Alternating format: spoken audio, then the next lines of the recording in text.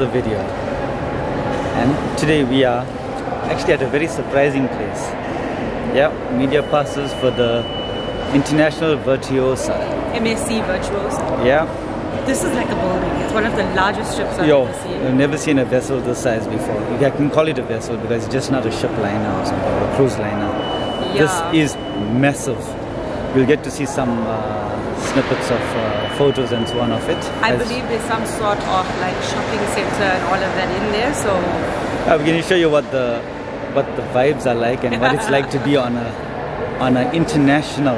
that uh, it looks like the MSC ships we have here look like lifeboats compared to Yes, literally, literally, because even their lifeboats are like, uh, yo. I'm just having a look at it right now, but we'll get to show you all the stuff.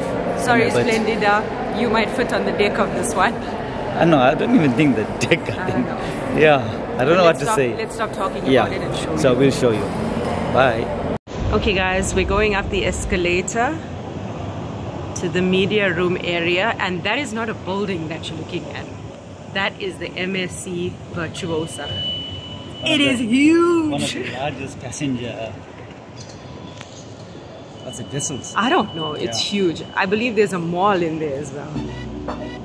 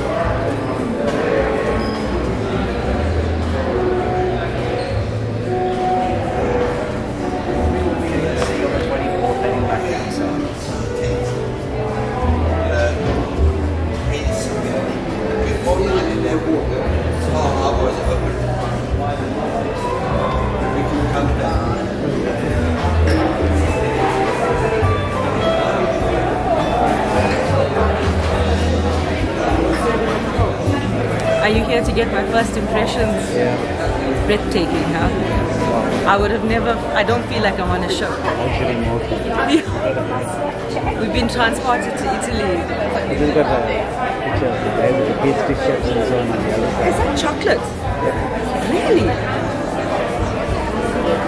This is, uh, it is incredible. So we entered into like the small type section, but we are here as day guests, so we're not entering like how you would normally. You're literally like in a luxury mall. Yeah, like you've been transported to some one of those shopping streets in Italy. It's definitely. Mind blowing. I'm sure the experience will also be I cannot even get the name of the last trip I was on. Sinfonia. Sinfonia. so that's the last uh, cruise we've ever been on, and That's a drop in the ocean compared to this lineup. it's over 10 years ago. So But yo, yeah. this is luxury on another level. right? Yeah, if you'd ever want to take a Virtuosa cruise, you would have to board Italy. There are bookings, Yeah. and you Probably when we bring a, a Europe trip, we're definitely going to go on one of these cruises. Probably check out Nice. about a few. Nice. Ah, we will. We will. Anything is possible on YouTube. Would you ever go to another country to get on a boat? Yes. Some people. Yes. To visit many countries, yes. Okay, so now we're now waiting for the handover of the crest, and that's the main event of the day. And I do what I do best. Eating some snacks. we in Durban, so Durban line of luxury food. Three of us, I would like to warmly welcome you on board our beautiful uh, MSC Virtuosa. And I would just like to extend it's our privilege to bring such a big ship, um, I think it's the biggest passenger ship, into the port of Durban for the first time.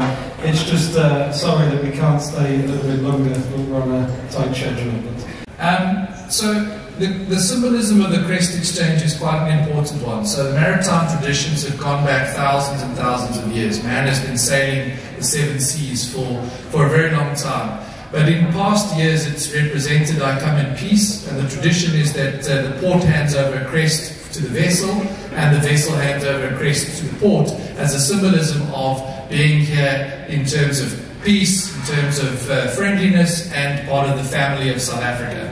So, yes, this vessel was not supposed to call in South Africa. It was uh, supposed to go through the Red Sea, but all the, the tempestuous uh, challenges that we face in that area, it was decided to bring this vessel around uh, Cape Town, around South Africa. And uh, this, the significance of this is um, that this we chose deliberately to bunker and do a technical stop in South Africa because of MSC's presence and commitment to South Africa.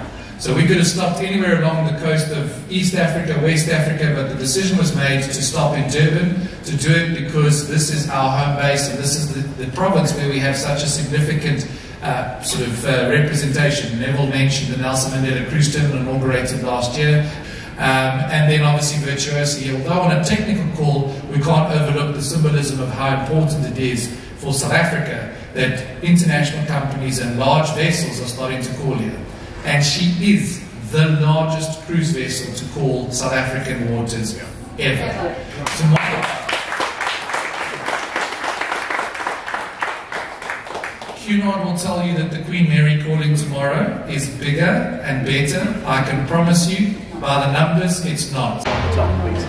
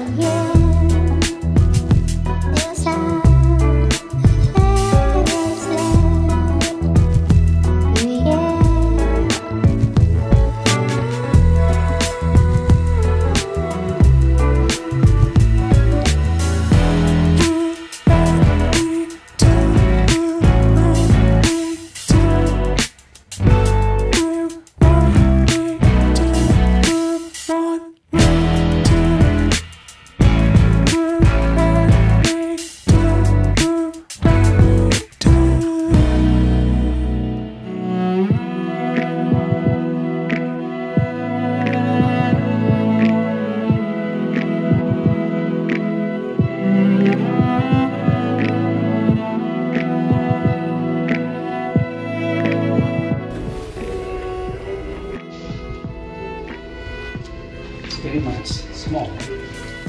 It is, but it still looks But it's better than the luxury. smaller. But it's luxury small. Literally luxury. I have no idea where we're going now. Yeah, guys, this is like a cruise line on steroids. Oh my goodness, this is this a cabin? Oh, wow.